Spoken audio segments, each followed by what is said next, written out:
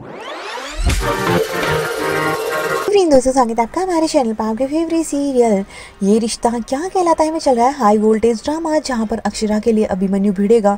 Garba night में आने वाले एपिसोड में देखने को मिलने वाला है कि यहाँ पर एक तरफ़ जहाँ पर वो दोनों तलाक लेने के लिए वकील के पास पहुँचते हैं, लेकिन अभिमन्यु कोर्ट तक पहुँचता ही नहीं क्योंकि वो खड़ा खड़ा ही बाहर ही सो रहा होता है और बहुत ही ज़्यादा नींद में होता है। तो दूसरी तरफ़ देखने मिलता है, अक्षरा को, वो वहाँ पर लॉयर उसे वहाँ पर जज भगा देती है और ये कहती है कि आपको एक बार फिर से सोचने की बाहर बात ज़रूरी है। वहीं पर मनीष और देखने को मिलता है हर्षवर्धन के बीच में भी झगड़ा होता है दोनों ही बच्चों को लेकर और हर्षवर्धन इस बात को संभालने की कोशिश करने की कोशिश करता है कि भाई दोनों को ही अब साथ में रहने का फैसला करना चाहिए और ना ही जल्दबाजी में कोई फैसला लेना चाहिए। तो देखने को मिलने वाला है दूसरी तरफ़। अक्षरा अभिमन्यु को ढूँढने पहुँचती है और वो नीचे गिरने ही वाला होता है और अभिमन्यु को अक्षरा संभालते नज़र आती है और इसी चक्कर में उसकी फ़ाइल भी गिर जाती है और ईयरिंग भी गिर जाता है।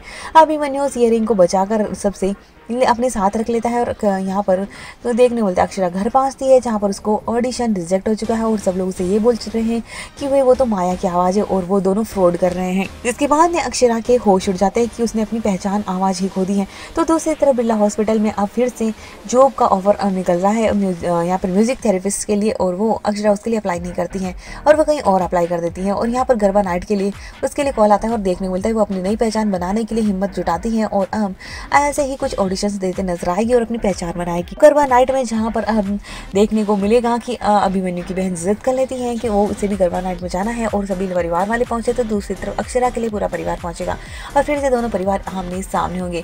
जहाँ पर देखने को मिलेगा कि अक्षरा सबके सामने गाना गाते नज़र आएगी और सब शौक बजाएँगे कि ये माया की आवाज़ इस तरह से कैसे सुनाई दे रही है?